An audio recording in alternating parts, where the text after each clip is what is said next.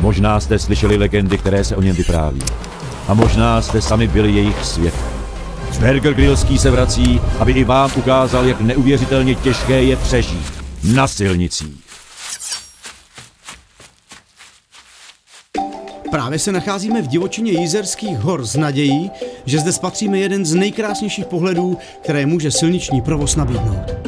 Letní dny, jako je ten dnešní, jsou ideální příležitostí k tomu pozorovat hyna cyklistů cestujících za potravou do místních hostinců. A přesně to máme taky v plánu. Cyklisté používají k přepravě speciální... Slyšeli jste to?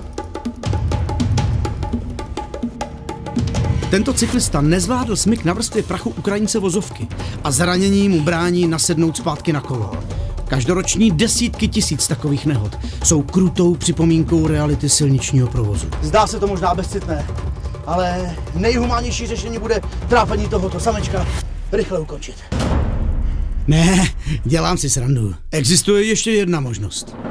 Šamani kmene záchranářů si předávají z generace na generaci umění první pomoci. Dokáží tím omezit rozsah a důsledky ohrožení zdraví člověka. Přestože je jednoduché osvojit si základy těchto dovedností, málo kdo se odváží je v potřebných situacích použít.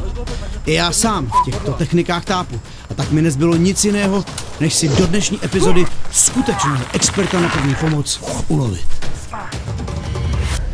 Zatím největší, kterýho jsem chytil. Na to asi bude spoždění. První pomoc není tak složitá, jak jsem si myslel. A je dobré ji znát, protože silniční provoz může kohokoliv překvapit úplně kdykoliv. Dokonce i mě. Jste volný. Kámo, jsi dobrý? Výborně.